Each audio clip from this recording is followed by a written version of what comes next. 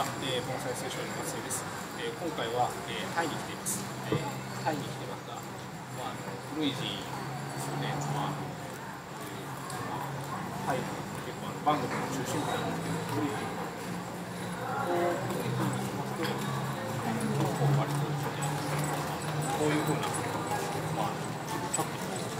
鉢植えのようなものが結構盆栽仕立てにこうね枝ができてるんですよね。まあちょっと幹なんかは明らかにまあ昔に針金をかけたかけないとまあこういうふうな感じにならないんで、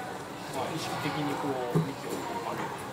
まあ、形を作ったものっていうのが結構ちらほらあります、まあ、あのこういうふうな文化があるからまあ割とねこうあの盆栽なんかでもちょっとこう、うん、やろうかっていう感じの方がタイの方はすごく多いのかもしれませんね。はい以上です。